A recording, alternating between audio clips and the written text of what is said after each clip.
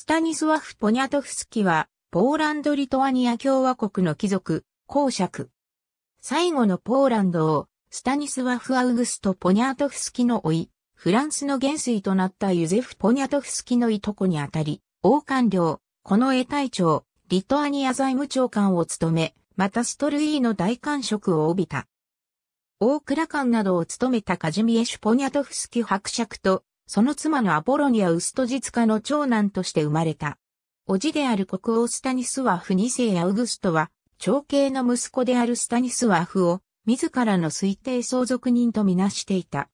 彼は、国王の甥として、十分に教育を受けて、旅行経験を積み、特に経済と美術に関心が強かった。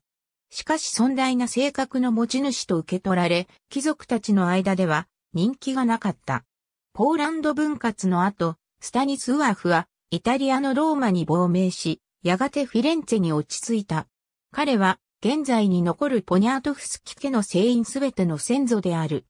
スタニスワフはイタリア人女性カッサンドラ・ルーチを愛人としたが、彼女はヴィンチェンツォ・ベントリーニという人物の妻であったため、結婚することはなかった。